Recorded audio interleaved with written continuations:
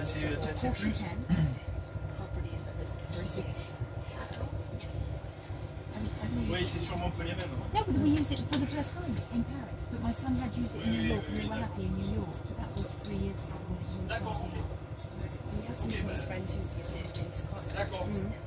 Ok, merci. Um, oh, uh, yeah. I think maybe yes, in somewhere like that, there's more chance of being very honest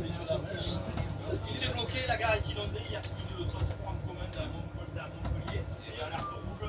Les bateaux, les bateaux euh, circulent toujours sur mer, mais euh, euh, donc euh, pour les correspondances, pas de soucis parce qu'elles sont toutes bloquées aussi. Donc les TGV que vous aviez par la suite, ils sont derrière nous. Vous voyez un train derrière nous. Et euh, ça ne circule pas dans l'autre sens non plus, donc tout est figé.